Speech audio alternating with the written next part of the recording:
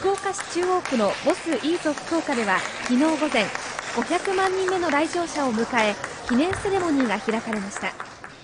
500万人目となった筑紫野市から来た平優斗君にはイーゾ1日満喫権利券や王貞治ベースボールミュージアムの無料券などが贈られました。お母さんお父さんと妹と来ました。ソフトバンクのバッティングとか走るやつを楽しみに来ました。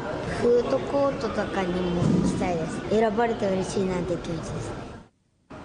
ボスイーゾ福岡は2020年7月21日に開業し開業4周年を迎えました。